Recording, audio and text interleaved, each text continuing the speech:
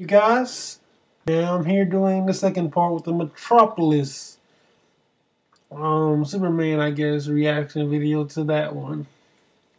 Let me see what that one looks like.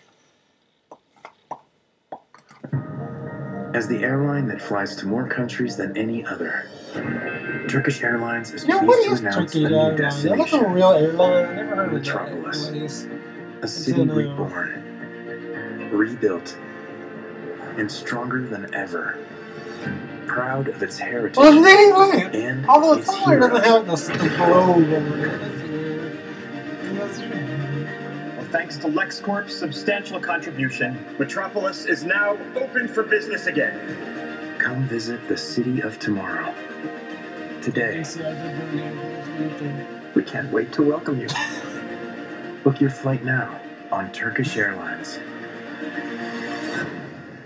Yeah, of course, that's that's the same thing before. Mm, But I'm telling you guys, Jesse Eisenberg as Lex Luthor is gonna be the bomb. I mean, seriously, he's gonna be the bomb.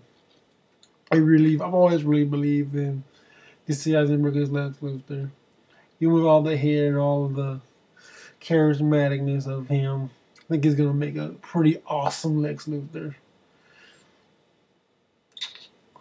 And no one really like the Superman one actually a lot more because we, I mean, with the Batman one, we only saw like the light flash in the sky.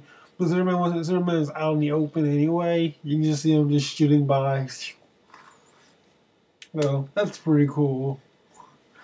Um, as far as not confirmed in the film, but it's really good advertisement. It really is. So that's my review of that. You guys have a good one, and thank you.